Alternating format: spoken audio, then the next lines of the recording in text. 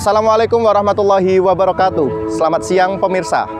KKN tematik Universitas Pekalongan adakan Expo UMKM produk lokal dalam rangka meningkatkan ekonomi kerakyatan.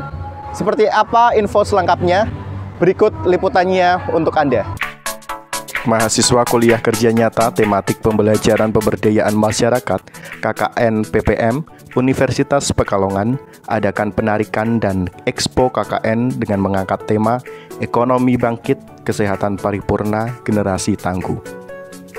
Yang pertama tujuannya yang pasti kita mempopulerkan makanan-makanan uh, tradisional, kemudian uh, khasnya dari dari segala macam daerah ya, yang dari tempat kita KKN Uh, kebetulan dari Kali Beluk kita menjual serabi kali ini ya.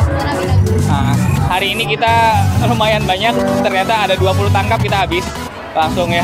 Karena memang serabi Kali Beluk luar biasa enaknya. Kegiatan Expo dan pelepasan mahasiswa KKN Universitas Pekalongan. Adapun rangkaian kegiatan dari acara ini dimeriahkan dengan Expo Produk Lokal Kabupaten Batang. Hari ini kita mengadakan expo dari hasil KKN kita, hasil KKN pada satu bulan kemarin yang alhamdulillah selesai diselenggarakan. Uh, kebetulan juga ini dari berbagai desa, Mbak.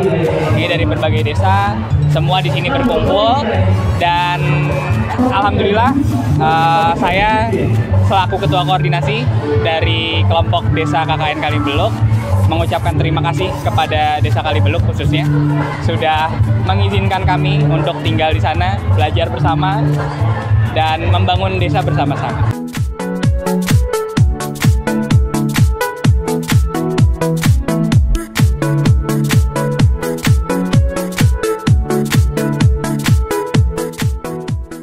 Demikian informasi yang dapat saya sampaikan.